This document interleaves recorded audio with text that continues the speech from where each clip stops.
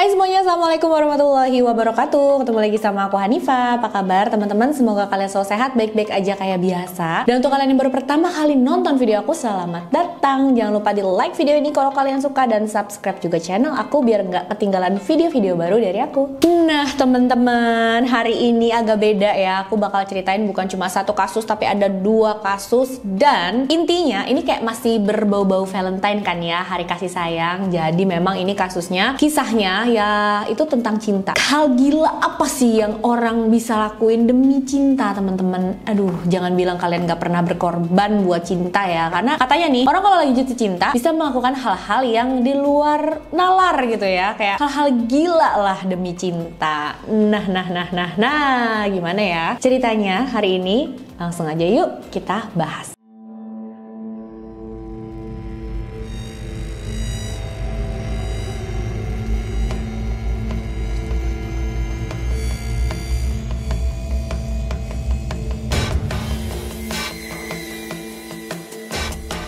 Kasus yang pertama berasal dari negara Bangladesh. Sedikit informasi ya teman-teman. Jadi Bangladesh ini adalah negara yang berbatasan langsung dengan Tiongkok dan uh, mereka merdeka pada ta pada tahun 1971. Di Bangladesh industri terkenalnya yaitu garment. Nah, kalian pasti seringnya kayak beli baju atau beli apa yang made in Bangladesh, made in Bangladesh gitu. Nah, di sana itu diperkirakan ada sekitar 4000 pabrik garment. Jadi emang banyak banget, guys. Dan industri garment inilah yang kabarnya sangat-sangat mendorong pertumbuhan ekonomi di Bangladesh sampai saat ini juga. Tapi sayangnya juga tingkat kemiskinan di Bangladesh itu sangat tinggi, sangat tinggi teman-teman. Dan jumlah penduduknya itu memang lumayan banyak berkisar antara 142 sampai 159 juta orang. Banyak ya. Hal ini menjadikan Bangladesh sebagai negara dengan penduduk terbanyak ke-8 di dunia. Itu sedikit uh, informasi tentang Bangladesh aja ya, teman-teman. Nah, ceritanya itu tentang salah satu penduduk di sana yang bernama Krishna Mandal. Dia adalah seorang wanita berumur 22 tahun. Mandal ini suka main sosial media, terutama Facebook. Di Facebook itu, dia ketemulah dengan kayak cowok yang dia suka. Pria tersebut bernama Abik Mandal yang berasal dari India. Awalnya mereka chattingan aja lewat online, tapi mereka ngerasa nyaman, semakin nyaman, hubungan mereka semakin serius, mereka mulai pacaran. Setelah itu mereka mau membawa hubungan mereka ini ke jenjang yang lebih serius. Krishna ini kayak udah cinta mati banget ya sama Abik walaupun memang belum pernah ketemu secara langsung, tapi kan mereka udah chattingan, udah pernah video callan juga. Jadi udah tahu wajahnya masing-masing kayak apa tuh udah tahu, guys. Cuma ya ketemu secara langsung tuh pengen banget si Krishna ini. Jadi dia kayak pengen ngelakuin apa pun deh yang penting bisa ketemu sama Abik. Tepatnya pada tahun 2022 kemarin Krishna memutuskan untuk nyamperin Abik langsung ke India. Tapi yang bikin wah ya banget gitu ya, cara dia nyamperinnya itu loh teman-teman. Bukan naik pesawat bukan naik kapal bukan naik perahu bukan teman-teman ya. Atau naik kendaraan transportasi darat bukan. Tapi caranya ini luar biasa. Hmm, gimana ya? Wah, pokoknya ntar kalian denger aja deh kisahnya ya. Jadi walaupun Bangladesh dan India itu berdekatan, tapi tetap aja mereka negara yang berbeda nih teman-teman. Nah, pertama-tama Krishna datang ke Sundarbans dulu. Nah, sedikit informasi, Sundarbans adalah kawasan hutan mangrove. Jadi hutan yang dibentuk antara pertemuan sungai Padma, Brahmaputra, dan Meghna di Teluk Benggala. Sampai di sana, Krishna ini masuk jalan kaki melewati hutan Sundarbans yang terkenal di dalam hutan itu banyak banget harimau benggalanya. Kan aku bilang juga apa teman-teman, orang tuh bisa ya melakukan hal yang segila itu demi cinta. Masuk ke dalam hutan yang banyak harimau ya. Tiba-tiba lagi jalan aduh nggak kebayang. Tapi saat itu Krishna nggak mikirin keselamatan dirinya sama sekali ya. Dia kayak ah udah bodo amat gitu kali ya. Terus dia masuk ke dalam hutan itu. Setelah itu dia nyebur ke sungai dan mulai berenang melewati sungai Malta yang dikenal penuh dengan buayanya guys ya Allah Luar biasa nggak tuh? Dan bisa-bisanya ya, Krishna saat itu memang nggak mengalami insiden apa-apa di hutan itu dia jalan, nggak ada yang menyerang, nggak disamperin harimau juga. Terus pas dia berenang di sungainya itu, iya dia kayak nggak tahu ya apa itu buaya, nggak ngeh, apa dilewat-lewatin aja aku juga nggak ngerti. Tapi intinya, intinya ya, Krishna ini berhasil berenang di sungai itu selama satu jam sampai dia sampai di desa Kaikali di selatan Benggala Barat tempat Abik tinggal. Dan ya setelah sampai di sana Krishna berhasil bertemu secara langsung dengan Abik dan memang seperti tujuan mereka awalnya membawa hubungan mereka ini ke jenjang yang lebih serius beberapa hari kemudian mereka memutuskan untuk menikah di Bangladesh itu. Mereka menikah di sebuah kuil yang ada di Kolkata, India. Tapi sayangnya kebahagiaan mereka ini bertahan sementara aja karena Krishna itu ditangkap sama petugas polisi India. Kenapa? Ya karena Krishna ini masuk ke dalam India secara ilegal. Krishna dideportasi ke Bangladesh dan dia diadili di sana guys. Jadi memang kan Krishna ini nggak punya paspor teman-teman, makanya itu dia eh, datang ke India lewat jalur yang ekstrim tadi. Kenapa bisa ketahuan sama petugas polisi? Karena ternyata kisahnya Krishna yang nyamperin Abik ke sana dengan cara ekstrim ini sangat-sangat viral. Warga India tuh sebenarnya kayak mengapresiasi apa yang sudah dilakukan oleh Krishna guys. Tapi sayangnya uh, karena kisahnya ini viral dan saat polisi mendengar,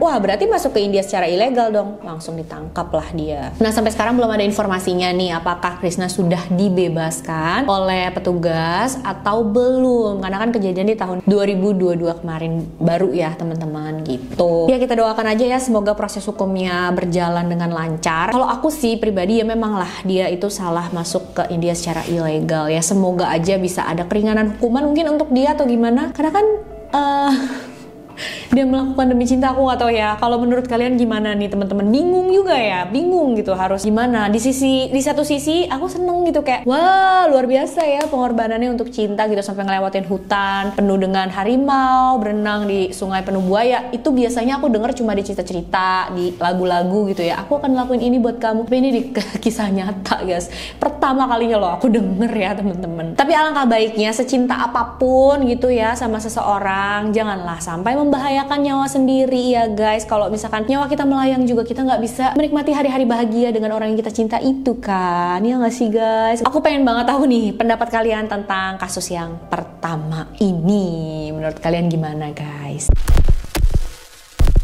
Nah, kisah yang kedua ini nggak kalah bikin geleng kepalanya ya, teman-teman. Terjadi di Bangladesh juga, tapi nggak cuma di Bangladesh, ini berhubungan dengan warga negara Amerika Serikat juga. Hmm, jadi ini terkenal juga ya kisah cinta Apu dan Sarah. Kisahnya berawal dari seorang wanita bernama Sarah Kuhn, umurnya 28 tahun. Sarah ini berasal dari Minnesota, Amerika Serikat. Di Amerika dia bekerja sebagai perawat dan sama seperti Krishna Mandal tadi ya, Sarah ini memang suka juga main Facebook dan di Facebook itulah dia kenalan dengan seorang pria yang berasal dari Bangladesh bernama Apu. Apu ini seumuran dengan Sarah 28 tahun juga. Apu bekerja sebagai pengecat rumah di Bangladesh. Awal mula perkenalan mereka itu mereka ada di satu grup Facebook yang sama, tapi lama-lama karena mereka punya ketertarikan nih satu sama lain, akhirnya mereka chattingan secara private gitu, teman-teman. Mereka mulai ngobrol dan kok nyambung, kok nyaman, hubungan mereka semakin lama semakin dekat mereka mulai pacaran tapi hubungannya ya benar-benar dari jarak jauh ya Amerika ke Bangladesh. Seperti pasangan pada umumnya ya, mereka chattingan, teleponan, video callan. Jadi memang udah ngelihat wajah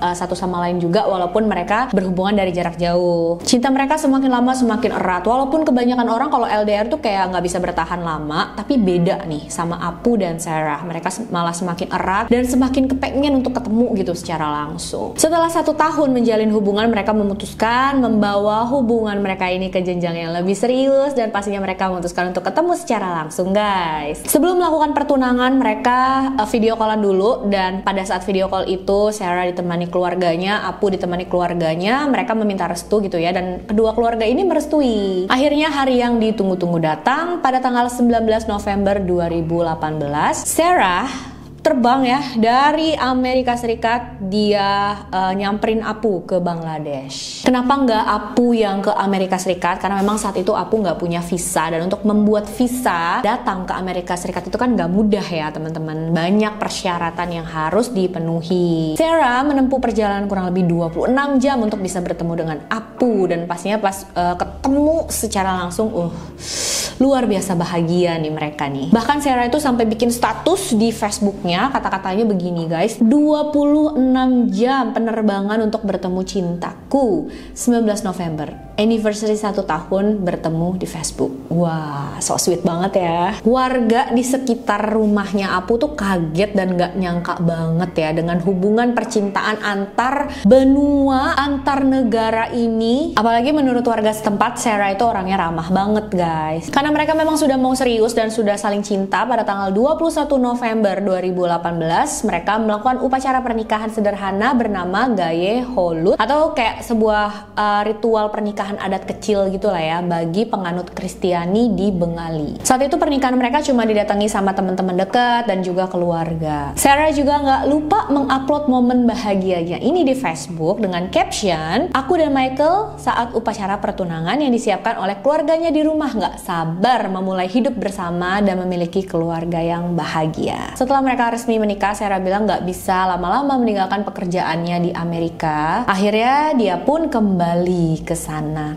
Tapi guys, dia nggak kembali sendiri. Dia membawa Apu bersama dia. Sarah langsung mengurus visa Apu dan berhasil jadi setelah Apu dapat visanya, mereka pun langsung terbanglah ke Amerika Serikat dan tinggal di sana. Wah, yang kedua ini happy ending banget ya teman-teman ya. Wow. Jodoh itu emang gak ada yang tahu teman-teman bisa datang dari sekitar kita, dari dekat, bisa datang juga dari mana-mana, dari lokasi yang kita nggak sangka-sangka. Dari kisah Sarah dan Apu uh, itu menginspirasi kita ya kalau cinta itu bisa datang dari segala macam perbedaan ras, bahasa apa pun itu ya. Kita doakan saja semoga mereka yang sudah berjuang mati-matian buat cintanya ini bisa hidup bahagia ya. Ya pastinya semua pasangan itu punya masalah lah. Tapi uh, semoga bisa diatasi dengan baik ya teman-teman. Nah, kalian nih jangan lupa komen dong. Apa sih pengorbanan cinta apa yang pernah kalian lakuin dan itu kayak yang paling besar lah menurut kalian guys. Aku pengen tahu dong, sharing dong sama kita apa tuh. Oke okay guys, makasih udah nonton videonya sampai akhir. Jangan lupa like video ini kalau kalian suka uh, dan subscribe juga channel aku biar nggak ketinggalan video-video baru. Jangan lupa dibantu share juga ya teman-teman biar makin banyak yang nonton videonya dan aku makin semangat upload video juga. Sampai jumpa di video selanjutnya.